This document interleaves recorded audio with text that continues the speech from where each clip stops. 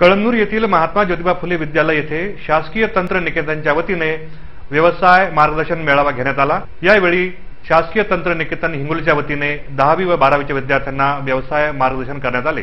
या मेळाव्यात प्राचार्य आर के सावंत प्राध्यापक जी के मंगनाळे प्राध्यापक डी एस सोनूने प्राध्यापक जावेद शेख प्राध्यापक एस बी मोटे यांनी विद्यार्थ्यांना मार्गदर्शन केले.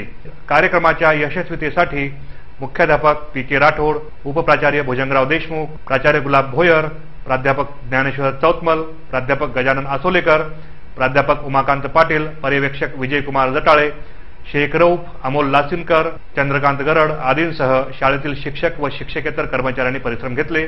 गुलाब भालेरावसह सलमान सय्यद स्टार न्यूज कळमनुरी.